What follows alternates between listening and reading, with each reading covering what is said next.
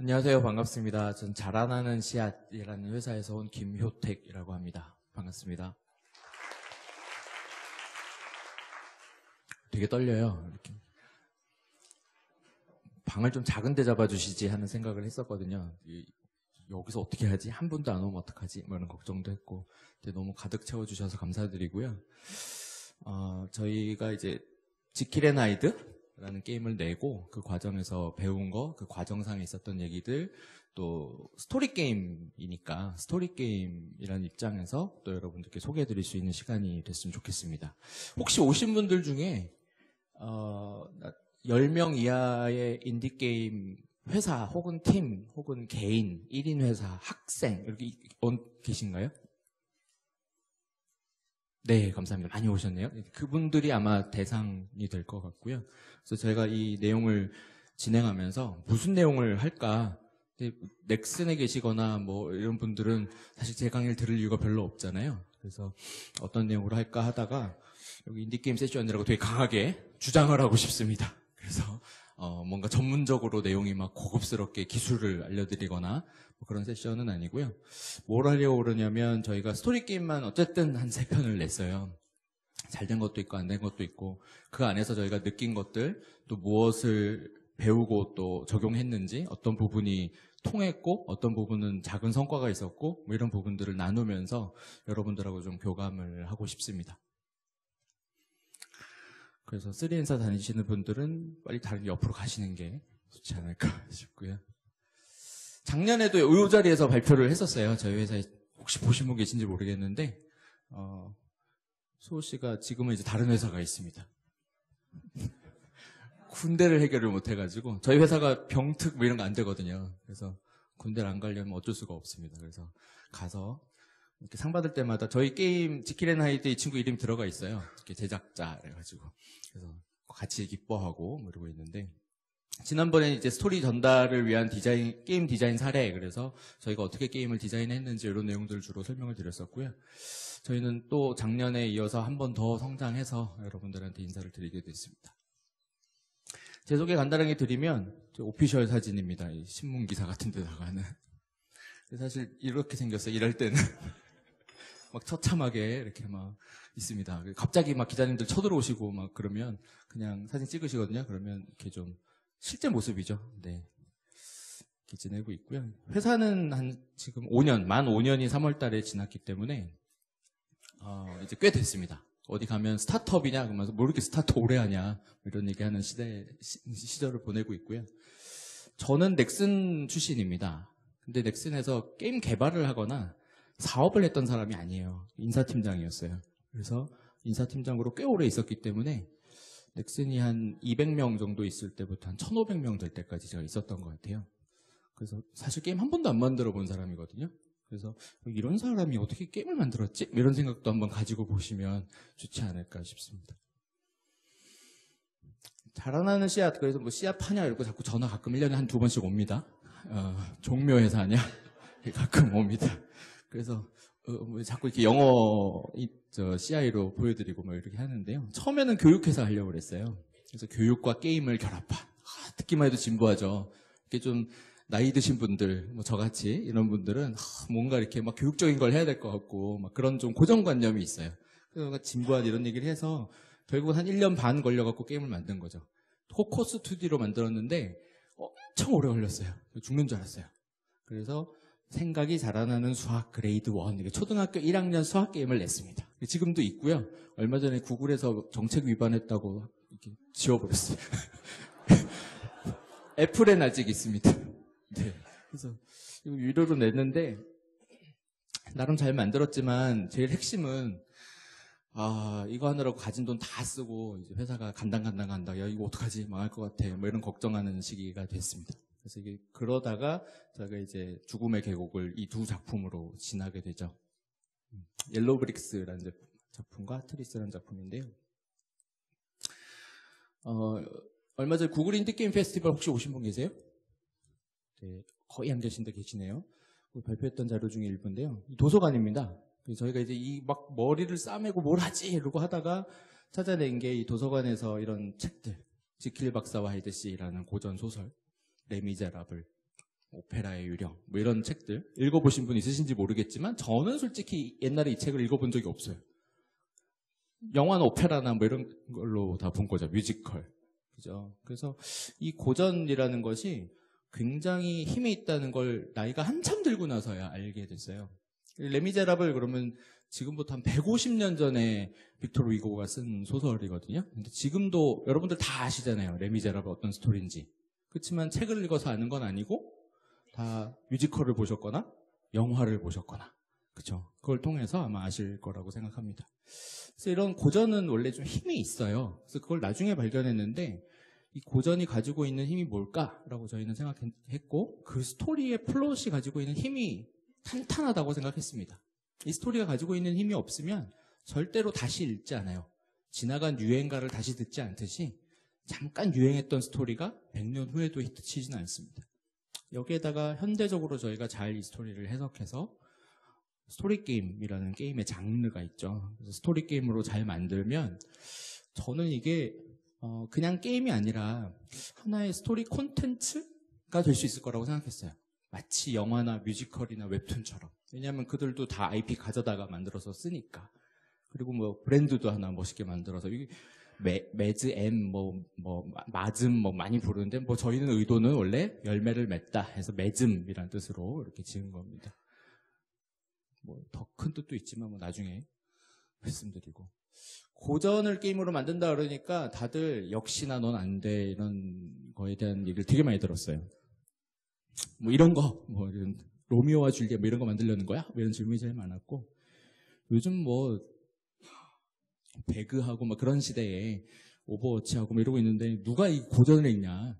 어른도 안 읽는 걸 애들은 왜 읽고 뭐 요즘 아무도 안 읽잖아. 이런 것 때문에 그걸 게임으로 만들어? 그 게임을 누가 하겠냐? 이런 생각이 제일 컸죠. 저희도 거기에 대한 자신감이 그렇게 크진 않았던 것 같아요. 근데 고전이 가진 장점이 명확하게 있습니다. 앞에도 말씀드렸지만 100년 이상 검증된 플롯을 가지고 있고요. 그러다 보니까 이런 작품들의 특징은 2차 저작물이 넘쳐나죠. 그래서 세상에 나가보면 그걸로 뭐 별의별 걸 다 만들었던 저작권이 무료라는 게 제가 저희 다 작은 회사들이고 혼자 뭐 2인 개발, 3인 개발 이런 IP로 게임 만들면 좋다 이거 다 알지만 그걸 뭐 저희가 계약해서 할 것도 아니고 저희랑 하시죠 찾아오는 업체가 있는 것도 아니고 그렇지만 저작권이 무료 저자 사후 70년이 지나면 저희가 쓸 수 있거든요. 그게 제일 큰 메리트였어요. 사실은 솔직히 말씀드리면 저희도 뭐, 뭐 신과 함께랑 안 하고 싶겠어요? 하고 싶지 안 해주니까 그렇죠. 그죠? 저자 사후 70년이 되면 만료가 되는데 이것도 자세히 알아보니까 조금 예외는 있더라고요. 그래서 그것 때문에 저희 출시 라인업이 바뀌기도 했는데요. 원래 오제 마법사라는 작품으로 만들려고 했던 그게 이게 동화잖아요. 프랭크 바움의 동화인데 이 작품으로 시작하게 된 것도 사실은 첫 게임 회사의 시작에 교육이란 단어가 있었기 때문에 결국 타겟 연령층이 어린이였던 동화로 시작하게 된 잔재가 지금 남아 있는 겁니다. 그래서 오즈의 마법사를 시작하게 됐고 그 오즈의 마법사를 하게 된 것도 이런 여러 가지 뭐 오즈의 마법사라는 1939년도에 나온 MGM의 영화거든요. 굉장히 유명하고 또 디즈니에서도 영화를 만들고 뭐 만화로도 나오고 애니메이션으로 나오고 뭐 이런 작품들이어서 선정을 하게 된 거예요. 그래서 이거 하자. 다음에 뭐 할래? 다음에 원래 하고 싶었던 작품은 어린 왕자였어요. 되게 짧고 되게 임팩트가 있고 또 어, 린 왕자라는 애니메이션도 얼마 전에 작년인가 작년인가 나왔었죠. 그래서 굉장히 좋았는데 얘가 이 그 대표적인 저작권 예외 사항입니다. 프랑스랑 미국에서 저자 사후 70년은 한참 지났는데 어, 만료가 안 됐어요. 만료가 왜 안 됐냐면 생텍쥐베리가 2차 대전 참전 용사로 인정을 받아서 저작권이 100년으로 늘어나 있습니다. 함부로 쓰다가 큰일 날 뻔한 거죠. 미국하고 프랑스에서 동시 추서가 됐던 어, 뭐 이런 거 검색해 보려 그러면 보통 일이 아니에요. 뭐 이런 예외가 있는 것만 좀 조심하면 고전은 참 훌륭한 장점을 가진 장르입니다. 어떤 게임을 만들고 싶냐라고 물어봤을 때 제가 생각했던 게임은 딱 얘였어요. 투더문 다 아시죠? 그 프리버드 게임즈라는 곳에서 만들었던 게임이고 원래 PC 게임으로 나와서 스팀에서 100만 다운로드 이상 기록했던 명작 중의 명작입니다. 최근엔 모바일로도 나왔는데 열심히 또 다운받아서 해봤거든요. 모바일로 나와서 다운받았던 사람들의 대부분은 PC로 어, 이미 해봤던 사람들이 하셨다 그러더라고요. 아는 게임 또 해보고 싶어서. 근데 이제 모바일에서는 약간 좀 감성이 다르긴 하더라고요. 이런 게임을 만들고 싶었어요. 투더문을 왜 하고 싶었냐면 스토리가 너무 좋아서 감동적이어서 해보고 싶었습니다. 투더문도 보면 댓글에 악평이 꽤 많이 달렸어요. 이게 게임이냐? 뭐 이런 류의 어, 스토리는 좋은데 이걸 게임이라고 할 수 있나? 뭐 이런 게임적인 요소가 아주 다양하진 않으니까 그래서 그런 얘기들을 받았지만 야 2D 도트 그래픽인데 이렇게 아름다울 수 있나? 엔딩 보면서 이렇게 막 울고 싶을 만큼 감동적인 느낌을 주는 그런 게임을 할 수 있나? 이런 생각들을 했고요. 그래서 좀 오래된 게임이긴 하지만 이런 게임을 만들어 보고 싶다라는 생각에서 시작했습니다. 그래서 선택한 장르, 뭐 저희가 만들어 놓고 났더니 장르가 이렇게 된 거지 그냥 처음에는 생각했는데요. 스토리 어드벤처 이렇게 시작했고요. 나중에 봤더니 이 시장 되게 작더라고요. 전체 게임 장르 시장의 5%도 안 되는 그나마 우리나라는 더 작은 그런 시장이고 대부분 RPG나 메인 장르들이 다 차지하고 있고요. 뭐 저 어렸을 때는 이런 게임들 하고 자랐는데 PC 게임의 룸 뭐 이런 거 하면서 이거 어드벤처 장르 이때만 해도 어드벤처 전성 시대였거든요. 어드벤처 전성 전성 시대였고 그 뒤에 울티마 뭐 나오면서 뭐 RPG 뭐 이렇게 올라갔지 그 당시에는 엄청났는데 옛날 얘기죠. 이렇게 할아버지들만 생각하는 스토리 게임이 가진 약점이 분명히 있습니다. 뭐 어드벤처 게임도 마찬가지고요. 스토리 게임이 가진 약점. 회색 도시 이미지를 띄워놨는데 제가 굉장히 좋아했던 게임이고 어, 잘 만들었고 훌륭했는데 어, 뭐 팀이 접히고 뭐막 슬픈 얘기들이 막 들렸어요. 여러분 잘 아시겠지만 이 이유가 뭐냐면 이 대기업들은 하기가 좀 어려워요 이 장르가. 이유는 뭐 다 아시는 내용입니다. 수익성이 낮아요. 수익성이 낮다는 건 뭐냐면 게임 하나에서 결제를 계속 해야 되는데 스토리 게임만 한번 사면 끝이잖아요. 그러니까 뭐 돈을 많이 벌기가 어렵죠. 근데 회색도시 팀이 컸거든요. 그럼 그 팀을 운영하려면 어느 정도 수익과 플러스 알파 기업이 요구하는 수익률이 있는데 거기까지 가기가 어려운 거죠. 낮은 retention? 밤새서 그냥 다 깨고 그 다음에 안 해요. 그러면 이제 굉장히 낮은 retention을 가질 수밖에 없죠. 그 다음에 유저층도 아까 굉장히 작아서 굉장히 옛날엔 넓은 유저층을 확보하고 있었지만 지금은 굉장히 소수의 사람들만이 즐기는 약간 maniac한 장르가 되어버렸습니다. 이런 것들이 좀 약점인데요. 사실 근데 회색 도시 저희 줬으면 저희는 뭐 thank you죠. 너무 돈 잘 벌고 좋은 게임이었는데 지금 안 나와서 너무 속상하고요. 뭐 이런 식으로 그래서 고전을 연구하기 시작했습니다. 설정샷이, 설정샷인 거 보이시죠? 뭐 어디 기자님들이 사진 달라 그러면 보내드리는 설정샷 책 다 펴놓고 뭐 어떻게 이렇게 일을 하겠어요 그죠 그렇지만 어쨌든 저희 회사에 가면 이런 책들은 넘쳐나게 많이 있습니다 뭐 세상에 모든 고전이 다 있다시피 할 정도로 책들이 많고요. 뭐 읽어보면서 뭐 이런 얘기들 하는 거죠. 그래도 저희가 하고 싶은 거 꼭 해야 되기 때문에 첫 작품인 오제 마법사를 정말 들이팠어요. 들이파서 만들었고 그래서 2015년 3년 전이네요 벌써. 오제 마법사를 냈고요. 옐로우 브릭스라는 이름으로 한국에서 냈고 뭐 이유는 글로벌로 아까 말씀드린 인지도가 있었기 때문이었고 또 실패 사례 한번 빨리빨리 만들어야 되는데 제가 개발자 출신도 아니고 게임을 잘 못 만드니까 오래 걸린 거예요. 1년 6개월. 5명. 처음에 한 3명 있다가 이제 5명 된 겁니다. 위할 때. 5명이서 만들었습니다. 2016년 6월에 유료 3,000원에 냈는데 뭐 게임은 어드벤처 스토리 게임으로 만들었고 스토리의 세계로 들어가 스토리를 경험한다는 비전을 가지고 만들었으나 어, 처참한 실패를 맛봤습니다. 한번 잠깐 보실까요? 영어 버전으로 북미까지 출시한 출시는 했지만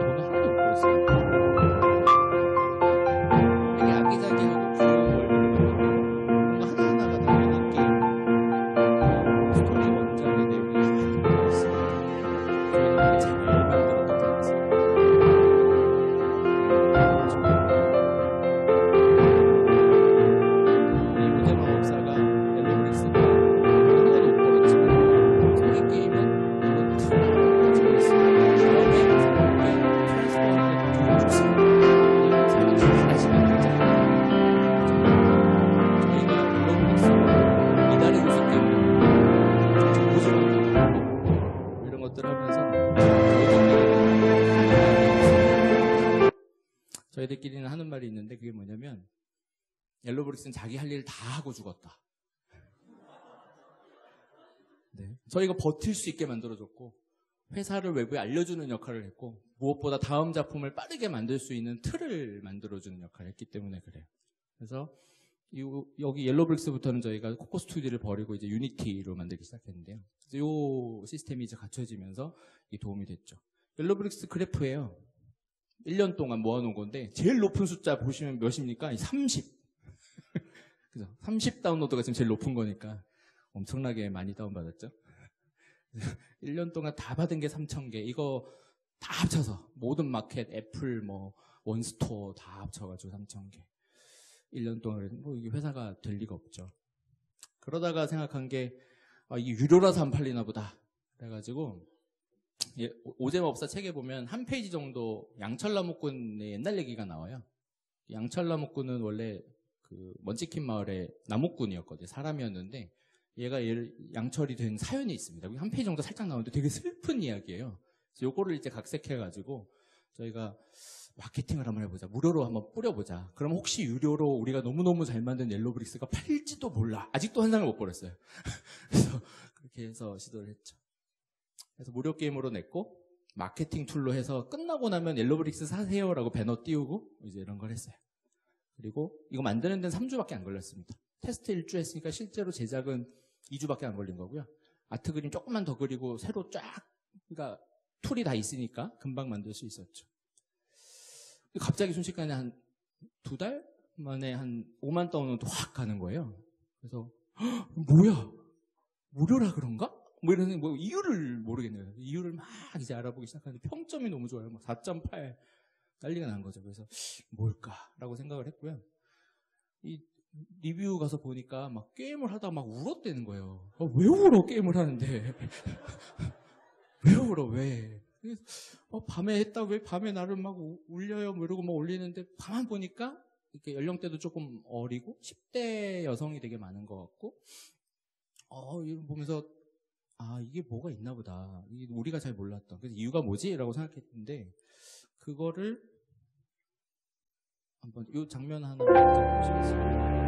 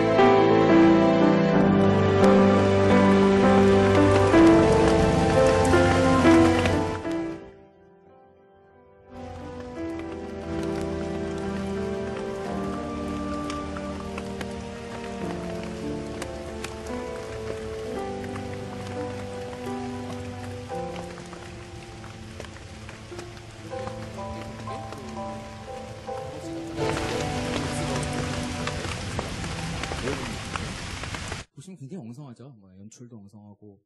근데 재밌었던 건 차이가 나중에 알고 봤더니 결국은 스토리텔링이었다는 거예요. 스토리 게임에서 가장 핵심이 뭘까? 스토리다. 이게 너무 평범한 진리를 너무 늦게 깨달아가지고 왜 스토리텔링이 차이가 나냐? 처음에 첫 작품 옐로브릭스의 대사는 제가 썼고요. 이 작품은 아까 나왔던 그 친구가 썼어요. 남자친구 있죠? 이수호 씨. 음, 그 친구가 썼어요. 뭐 잘하는 친구가 써서 그렇다 이렇게 얘기하면 이제 사람이 중요하다 이렇게 되니까 그게 아니라 음, 저는 원작을 잘 살려야 된다고 생각했어요. 원작을 그래도 가능하면 그대로 살리려고 했어요. 근데 이 친구는 이거를 뭐 자기 표현으로는 중이병스럽게 썼다. 뭐 그러더라고요. 음. 그러니까 결국은 대사와 코드가 분명해야 된다. 그래서 엘로브릭스는 별 코드가 없었어요. 근데 하트리스는 무조건 슬픔이었어요. 끝에 가서 무조건 슬픔으로 몰아붙인다. 그 코드가 분명했고 이 슬픔을 전달하고 싶다는 목표가 분명했기 때문에 그 스토리라인을 분명하게 썼던 것이 굉장히 핵심이었다고 봅니다. 그리고 굉장히 반응을 많이 보여주신 분들이 10대, 20대 여성분들이 많았고요. 주로 밤에 플레이하신 분들이 아마 제 데이터는 안 내봤는데 낮에 평점 3.5점, 밤에 평점 4.9점 뭐 이러지 않았을까. 뭐 그런 네. 무료 게임으로 냈고 실제로 타겟 유저도 이렇게 보시면 어, 연령대가 이제 10대, 20대가 굉장히 많죠. 전체 대부분 차지하고 그 다음에 여성분이 78%이 정도 되니까 음, 이런 차이들도 확인할 수 있었습니다. 그래서 우리 다음 게임 빨리 잘 만들어보자 라고 시작한 게 지킬 앤 하이드예요. 음, 지킬 앤 하이드를 시작했고요. 도대체 잘 되는 스토리 게임이 뭐냐 하는 거를 찾아보기 시작했고 저희들이 이제 게임 많이 좋아하는 친구들이 모였으니까 음, 오늘 아침에 이 회사 게임 막 기사가 막 나오기 시작하던데 새로운 게임이 5월에 나온다고 음, 디트로이트 뭐 다음 작품 나오더라고요. 헤비 레인, 비욘드 투 소울스 또 노티독의 더 라스트 오브 어스 이런 게임들은 다 플스 게임이죠. 네. 굉장히 고퀄리티의 3D 실사, 스토리텔링 죽이고, 음악 죽이고, 정말 재밌는 게임이죠. 재밌는 건 그렇게 막 게임적인 요소가 많이 있진 않아요. 스토리적으로 굉장히 해서 이 장르를 저희가 interactive 드라마 장르라고 하는데 이런 게임을 모바일로 만들어 보고 싶다라는 생각을 하게끔 만들었던 였고 저희는 뭐 아트가 한 명이라서 할 수가 없어요. 아트 한 명이 원화가입니다. 원화가. 저 앞에 그림도 다 아트 한 명이 다 그린 건데 아트 원화가가 거의 뭐 갈렸죠. 그래서 아트가 혼자 UI에서부터 다 하는데 너 3D도 할래? 뭐 이렇게 할 수가 없으니까 그죠? 뭐안 되니까 저희는 무조건 2D에 네 그래서 그래픽 그렇게 갈 수밖에 없었고요. 생생한 음성 지원, 그죠? full voice visual novel.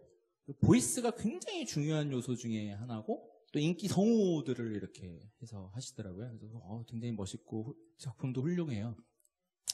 저희도 뭐 돈이 없으니까 성우를 쓸 수도 없고 빨리 포기했습니다. 근데 하트리스 때도 보면 성우가 없는데 어, 텍스트만으로 충분히 스토리 연출과 감성, 감정이 전달된다는 걸 확인했기 때문에 할 수 있었던 결정 같아요. 또 어떤 게임이 잘 되냐? 화이트데이. 다 잘 아시는 게임이죠. 러스티 레이크. 뭐 이런 류들은 또 각 장르마다의 특징이 있죠. 공포, 방탈출. 뭐 여기 그림은 안 넣었지만 뭐 미연시, 그죠? 남성향, 여성향. 이제 오락성이 강한 스토리들도 있고 각각의 다 장르가 있습니다. 우리는 고전 명작인데 이쪽으로는 갈 수가 좀 없었어요. 그래서 우리의 어떤 정체성을 살리면서 갈 수 있는 방향을 찾을 때 이런 게임들을 검토했고요. 그래서 우리는 버릴 건 좀 버리고 취할 건 취하고 우리는 뭘로 갈까라고 막 그림을 막 그리다가 이런 복잡한 그림을 그린 거죠. 그래서 RPG나 퍼즐이 추구하던 것들은 우리는 안 하겠다. 이건 마찬가지로 사실 visual novel도 안 하고 있는 장르긴 한데요. 어, 저희는 여기 밑에 있어서 죄송합니다. 저 뒤에서 잘 안 보시면 제가 불러드릴게요. adventure 요소를 좀 가져가자. 그 다음에 깰 재미 같은 걸 좀 주자. 그 다음에 스토리의 완성도를 극대화시키자. 그리고 감동적인 연출을 하자. 연출을 하자는 게 굉장히 중요한 포인트고요. 그 다음에 엔딩에 대한 경험. 그냥 엔딩 끝났어가 아니라 엔딩 시점에 어떤 감정을 주고 싶은가에 대한 설계를 굉장히 잘 하자. 이런 것들을 어, 계획을 세웠습니다. 그렇게 해서 탄생한 게임이 지킬앤 하이드예요. 음, 주인공으로 나왔던 가브리엘 존 오터슨. 그렇죠? 그래서 저희가 잡았던 포인트는 원작의 재구성을 통해서 플롯을 좀 다시 짰습니다. 뭐 주변에 보면 사실 지킬이 하이드냐? 그리고 처음 알았어? 뭐 이런 분들도 많지만 책을 잘 안 읽으니까 요즘에 그렇지만 플롯을 너무 아는 결과물을 바꾸기 위해서 좀 새롭게 플롯을 구성한 부분이 있고요. 그 다음에 아트를 뭐 저희는 원화가밖에 없기 때문에 예, 원화의 특징을 최대한 살려서 정말 그 세계에 들어간 듯한 느낌 이런 것들을 주려고 많이 아트 작업을 많이 공을 들였고요. 연출의 핵심을 음악에 많이 뒀습니다. 음, 음악을 뒤쪽에 가서 좀 설명드리겠지만 음악을 어떻게 하면 더 잘 스토리 감성을 전달하는 데 쓸까 하는 연출들을 굉장히 많이 사용했어요. 다 만들어 놨는데 저희 내부적으로 리뷰를 막 하잖아요. 근데 다섯 명, 여섯 명 있었죠, 그때. 다섯 명, 여섯 명이 보면서 한 사람도 아, 이거 진짜 잘 만들었다는 얘기를 아무도 안 하는 거예요. 야, 재밌어? 재미없는데? 그, 다 아는 얘기인데 이게 되나? 뭐 저희도 출시 전날 얘기입니다, 이게. 무료 게임? 이거 결제 아무도 안 하면 어떡하지? 뭐 결제 모델도 새로 넣었는데요. 결제 아무도 안 하고 그냥 내면 어떡하지? 이런 두려움 속에 정말 확신 없이 냈는데요. 다행히 반응이 좋았던 거죠. 영상 잠깐만 볼게요.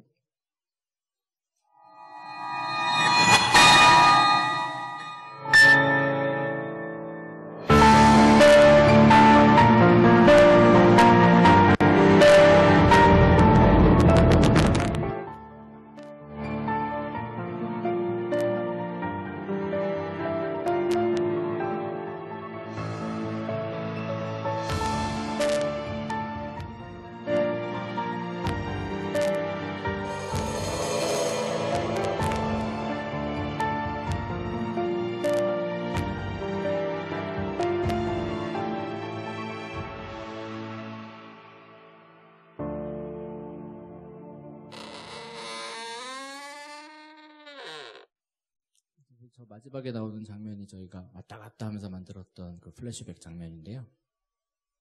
저희가 지키는 아이들을 통해서 또다시 배웠던 점, 실제로 성공했던 점을 좀 살펴보면 실제로 성과는 어, 저희는 되게 큰 성과예요. 근데 어디 가서 조금만 큰 회사에 되면 야 그거, 그거 우리 벌면 망해 뭐 이렇게 얘기를 하시니까 작은 성과 그 애플에서 그래도 2등까지 올라갔었고요. 무료 인기에서 그다음에 구글에서 무료 인기 7위까지 올라갔었는데 여기서 한 영원히 머물길 바랬으나 잠시 머물다 내려왔죠 당연히. 그럼에도 불구하고 너무 기뻐서 저희들은 막 사진 찍어놓고 막 맨날 그 쳐다보고 막 그랬던 기억이 납니다. 이게 어떻게 가능하냐? 뭐 이러면서 했었습니다. 양대마켓에서 지금 현재 한 60만 다운로드 정도 기록했고요. 어, 유료로 전환하는 비율이 꽤 괜찮았어요. 그래서 RPG하고 비슷한 수준의 전환율이 나와서 더 높일 수 있지 않을까? 뭐 이런 생각들을 지금 하고 있을 정도로 어, 나름 유료 전환이 괜찮았고요. 그 다음에 무료로 하신 분들에 대한 만족도도 굉장히 좋아서 어, 저희는 나름 성공했다, 잘 만들었다라고 생각을 하고 있습니다. 약점이 아직도 있는데 유저층이 아직 얇죠. 그래서 60만, 50만, 60만 가면서부터는 증가 속도가 현저하게 느려졌어요. 다른 말로 하면 뭐 노출의 이슈가 아니고 노출이 뭐 많이 되면 조금 더 늘긴 할 텐데 노출의 이슈라기보다는 이 시장의 풀이 제가 봐서는 맥시멈 한 100만 명 아닌가 한국에? 그 정도? 그리고 한 50만 명, 60만 명 가면 이제 그다음부터는 정말 노력을 많이 해야 거기까지 가는 이 정도 시장이 아닌가 생각을 하고 있고요. 광고 없이 노출하기가 정말 어려운 모바일 게임 시장에 대한 경험을 또 하고 있습니다. 이 시장 자체가 대기업들 위주로 이제 많이 되다 보니까 너무 경쟁이 심해요. 그래서 노출이 좀 어렵다. 어떡하지? 이런 고민을 현재 많이 하고 있습니다. 작품에 저희가 넣었던 굉장히 좀 의미 있게 시도했던 부분들은 첫 번째는 플롯의 재구성인데 플래시백이라는 방식을 썼어요. 사실 이 플래시백이라는 아이디어를 처음 냈던 친구가 그 회사 나간 그 친구가 하자 그래고 해놓고 나갔는데 만드는 건 저희가 만들었어도 결국은 지킬의 현재 스토리가 쭉 이렇게 진행이 되지만 그 안에서 자꾸 과거로 돌아가서 옛날 지킬의 모습을 보여줘요. 이런 방식을 한번 저희가 설계를 다시 한 거죠. 그래서 과거의 지킬이 새롭게 내가 약을 발명해서 나는 인간의 두 개의 자아를 분리할 수 있어 라고 얘기하면서 그것을 시도해서 성공해 나가는 모습을 그려주고 그 다음에 실제 현재의 모습에서는 계속 그게 실패해 가면서 이 변환이 잘 안 되는 거죠. 지킬로 갔다 하이드로 갔다 이러는 게 처음엔 잘 되다가 나중에 점점 잘 안 되면서 괴로워하고 결국은 파멸해서 뭐 죽고 마는 이런 파멸의 시간을 흘러가는데 결국 그래프가 교차하겠죠 이렇게 끝장면에 가면 지킬이 굉장히 기뻐하는 모습과 어, 죽어가는 하이드의 모습을 완전 대비시키면서 저희가 엔딩에서 주고자 하는 메시지, 느낌, 감정 있어야 된다 그랬잖아요. 허무함이었어요. 야, 이 사는 게 허무한 거다. 허무함이라는 것을 극대화시키는데 어, 큰 기여를 한 게 이 플래시백 구조를 설계했다고 생각하고요. 이거 뭐 스토리텔링 할 때마다 바꿔야 되니까 또 새롭게 고민해야 되겠죠. 원화가가 있다는 장점을 최대한 살리려고 노력했습니다. 저희는 원화가가 그림을 좋아하고 서파 그릴 때 가장 행복해하는 친구여서 어, 서파 많이 그려라. 이걸 내가 게임에서 보상으로 주고 안에서 넣자. 스토리가 진척이 되면서 그때그때마다 요약 서파 같은 걸 하나씩 주고 이걸 보상으로 주자. 이런 얘기들을 했고 어, 이것도 굉장히 반응이 좋았고요. 저희 내부적으로도 만족도가 꽤 있었다고 생각합니다. 게임이 굉장히 게임으로 머물지 않고 스토리텔링의 일환으로 작용을 했다고 생각해서 삽화를 이용한 스토리텔링도 저희가 잘한 부분이라고 생각이 들고요. 저희 이제 게임에 들어가 보면 timeline이라고 해서 스토리 전개 라인이 이렇게 있는데 main line에 있는 게 무료고 그 밑으로 살짝 빠져 있는 게 다 유료입니다. 그래서 저는 처음에 좀 두렵긴 했어요. 그래서 무료로 엔딩까지 다 연결시켜 놨거든요. 중간에 막고 자 돈 내 뭐 이런 거 안 하고 싶어서 그래서 무료로 엔딩을 볼 수 있게 만들었고 대신에 약간 감독판 같은 형태로 유료를 더 팔자 이런 생각을 했고요. 그래서 무료로 게임을 이렇게 볼 수 있지만 유료 에피소드를 중간중간에 넣어서 사실 그 사이에 어떤 behind story가 있었던 거야. 이런 걸 나중에 볼 수 있게 이렇게 해주는 시스템을 사용했고요. 그리고 뭐 삽화라든지 특별한 업적, 대부분의 업적은 그냥 달성할 수 있지만 곳곳에 이렇게 숨겨져 있는 특별한 업적은 어, 재화가 필요하도록 만들었고 또 추가 컨텐츠도 중에 일부분만 다 모으고 싶은 사람만 돈 내면 되는 거죠. 기본적인 한 8, 90%는 다 무료로 얻을 수 있는데 이런 구조로 이제 전체 수익 구조를 설계했고 저희가 director's cut 모델이라고 생각한 이 부분은 영화 드라, DVD 같은 데서 차용한 건데 음, 굉장히 잘 working했다고 생각을 하고 있습니다. 그 이외에는 뭐 자잘자잘한 것들이에요. 지킬앤하이드는 여러 가지 수집 요소들이 있었는데 일반적인 스토리 게임에서 많이 차용하고 있는 뭐 인물의 정보들이 계속 업데이트되면서 모아가는 거라든지 인물 수첩, 뭐 사건 수첩에서는 사건의 데이터를 다시 모아가면서 아 이게 이렇게 이렇게 모아지는구나 마치 추리 게임과 같은 느낌을 좀 줬습니다. 이게 살짝 오해가 있기는 있어요. 추리 게임인 줄 알고 들어왔는데 이거 뭐야 추리 게임이 아니잖아 이러고 실망하신 분들도 있었기 때문에 그렇지만 지킬앤하이드가 어, 미스테리에 가까운 소설인데 잘 보면 추리물 같은 느낌도 좀 들어서 그런 이제 약간의 오해 혹은 뭐, 뭐 그런 부분들이 있었던 것 같습니다. 그 외에 좀 반응이 괜찮았던 거는 런던 수첩이라는 거였는데요. 그 19세기 런던에 있었던 역사적인 사실들을 저희가 잘 조사를 해서 마치 이렇게 역사 교과서 보듯이 그 당시에 이런 게 있었고 이런 용어 어떤 대사가 나와요. 그 대사에 대해서 뭐 히피란 말이 나오면 아니 하피란 말이 나오면 그 하피라는 게 그 당시에 있었던 뭐다 그리고 설명을 해주는 것을 어, 계속 업적처럼 도감으로 주고 그것들을 모으게 했죠. 그래서 이런 것들이 좋은 결과들을 만들어냈습니다. 미니게임이 여러 가지가 들어갔는데 어, 이거는 이제 처음에는 미니게임 형태로 많이 만들었어요. 그래서 미니게임이라 하면 독립적으로 이거 하나 자체가 성공과 실패가 있고 그 안에서 어떤 동기부여와 뭐 어떤 모티베이션 요소가 있는 그런 미니게임을 많이 만들려고 했는데 점점 가면서 그 아까 플스 게임 중에 interactive 드라마 장르들에서 많이 사용하고 있는 QTE라고 하는 quick time event 문을 열 때 문을 열고 들어가고 뭔가를 들때 이렇게 드는 행동을 하고 문을 부셔서 깨고 뭔가 지나가고 이런 행동들을 개입하고 그 스토리를 직접 유저가 경험하게 만드는 여기도 보시면 좌측에 있는 누르기는 눌러서 막 들어가는 거, 그다음에 드래그 하는 거, 뭐 이런 활동들을 QTE를 이제 적용하기 시작했습니다. 저희가 이 QT를 많이 활용하기 시작했고요. 그 다음에 이제 음악인데요. 뭐 지금 중간중간 음악이 나왔지만, 나왔지만 저희가 음악 제작에도 굉장히 신경을 많이 썼습니다. 외주했고요. 저희가 뭐 작곡가가 있는 건 아니니까 그래서 저희가 무슨 정부 지원금을 받는다든지 했을 때 음악 쪽에 좀 신경을 많이 써서 좋은 작업을 해주실 수 있는 파트너를 찾으려고 노력했고 수많은 음, 악 제작사 분들을 뵀는데 주로 RPG나 퍼즐류 게임들을 많이 하셨던 분들을 오히려 조금 배제하고 혹시 드라마 해보신 적 없으세요? 혹시 영화 음악 해보신 적 있으세요? 뭐 이런 것들을 찾았고요. 그러다가 그걸 장기 잘해주시는 파트너를 만났어요. 그래서 지금 굉장히 만족스럽게 지키는 아이들 저희 다음 작품까지는 계속 같이 하고 있고요. 작품을 만들면서도 이건 게임 음악이라기보다 영화나 드라마 음악에 가깝다라는 생각으로 계속 만들었고 저희가 이 타이밍에 어떤 음악이 나와야 된다 뭐 이런 것들을 굉장히 신경 써서 기획해서 전달을 했습니다. 뭐 다 들어볼 시간 안될 것 같고 한두 개만 들어보면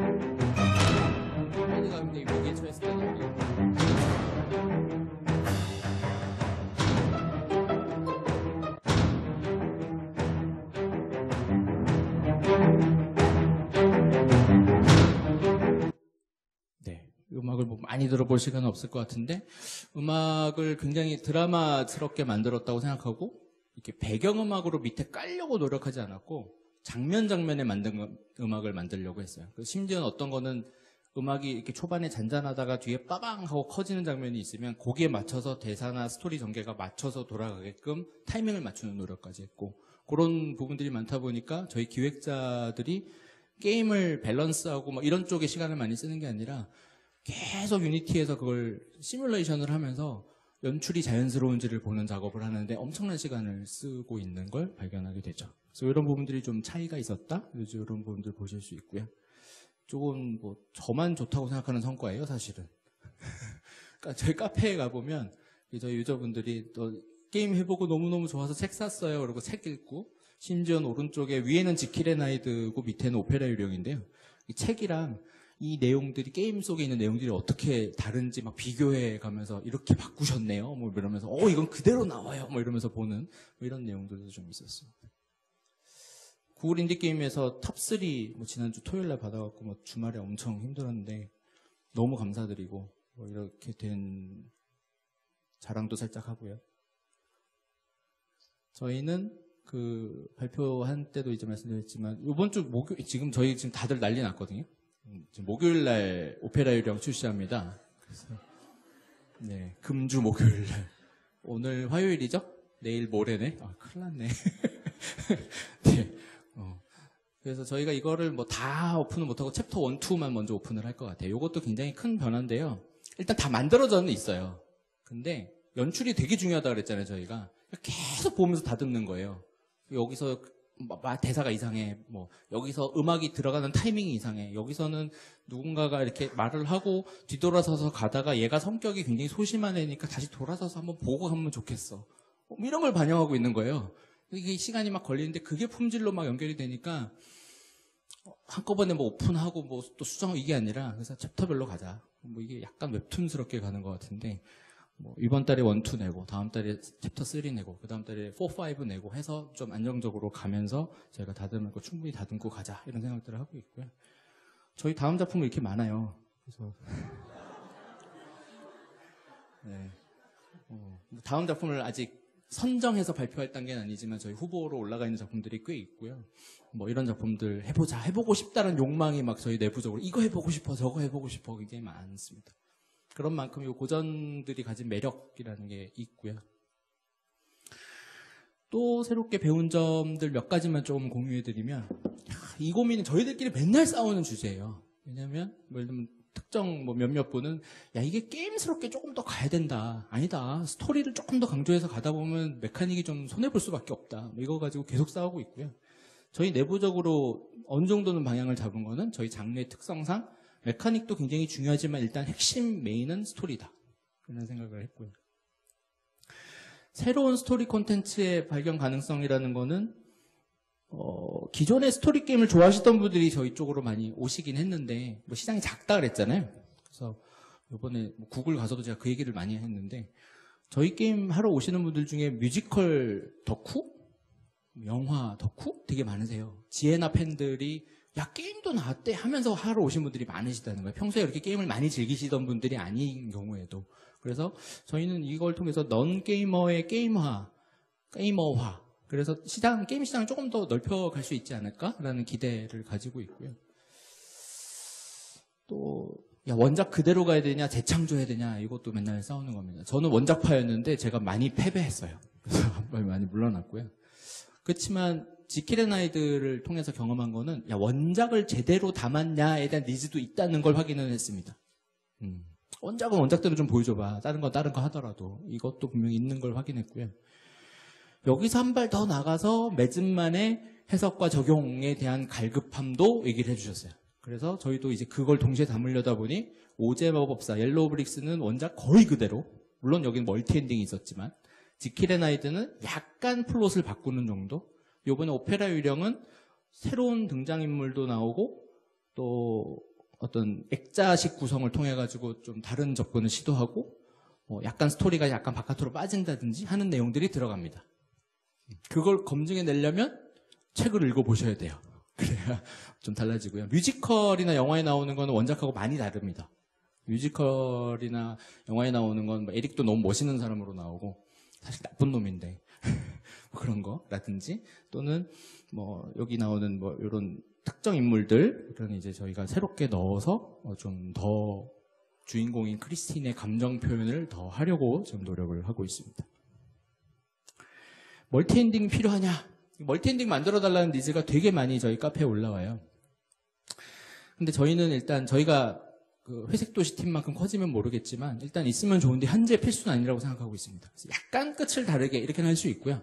옐로브릭스에서 했던 것처럼 처음부터 막 분기가 일어나가지고 오늘 발표된 디트로이트 같은 게임처럼 막 분기가 게임의 핵심인 그런 식으로 가긴 좀 어려울 것 같습니다. 이유는 그냥 분기 하나 만드는 게 게임 하나 만드는 것만큼 코스트가 들어요. 왜냐하면 그 양만큼 늘어나기 때문에. 그래서 저희가 갈 길이냐라는 부분에 있어서는 좀 저희는 일단은 하나의 스토리가 완성도 있게 가는 것을 추구하려고 합니다. 팀 사이즈가 작기 때문인 게 제일 크죠. 앞으로 스토리 게임이 어디로 가야 되냐?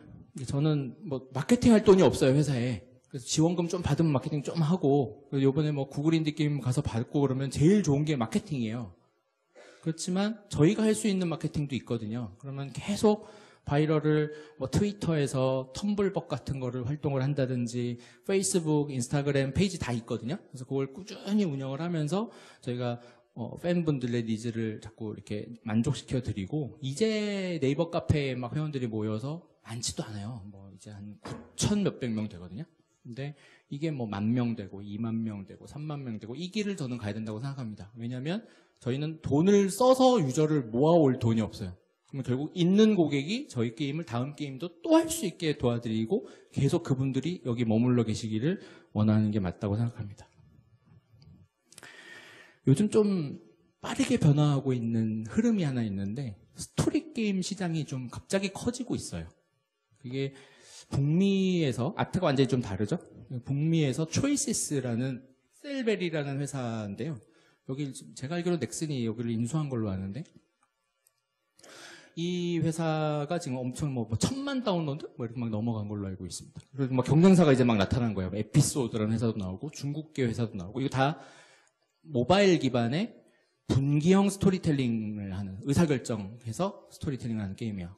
비슷하게 우리나라에서는 체리츠의 수상한 메신저 뭐 이런 게 이제 좀 비슷한 스토리 게임 장르라고 보여지고 저희는 좀 굉장히 다른 장르죠. 근데 저희는 다 같이 스토리 게임 시장이라고 보거든요. 근데 다양한 스토리 게임에 대한 니즈 시장들이 커지고 있고 아직은 거기까지는 안 가는데 저는 장기적으로는 영화나 뮤지컬이나 드라마 웹툰이 스토리 컨텐츠잖아요. 이 시장에 저는 게임이 한 구석 들어가야 된다고 생각하거든요. 그래서 이번에 구글에서도 인터뷰하면서 그 좀 높으신 분이 오신 것 같아서 제가 강하게 얘기했는데 스토리텔링 카테고리 좀 만들어 달라. 나 이거 어드벤처 안에 들어가 있는데 따로 좀 빼주면 글로 빠질 게임 되게 많다. 그래야 시장이 커지지. 이러고 이제 얘기도 좀 했습니다. 뭐 해주실지 모르겠지만. 그래서 스토리로 세상에 좀 긍정적인 영향을 주고 싶다라는 저희 내부의 비전이 있고요. 스토리도 사실은 뭐 좋다 나쁘다 영역은 아니고요. 어, 이렇게 오락성이 굉장히 강할 수도 있고 그게 아니라 그 작품이 가진 작품성을 통해서 뭔가 드러내고자 하는 메시지를 담을 수 있거든요. 근데 그 메시지를 잘 담으면 어, 소설책을 사람들이 읽는 이유는 소설 안에 메시지가 있기 때문이거든요. 그리고 자기 삶의 간접 경험을 통해서 영향을 많이 줘요.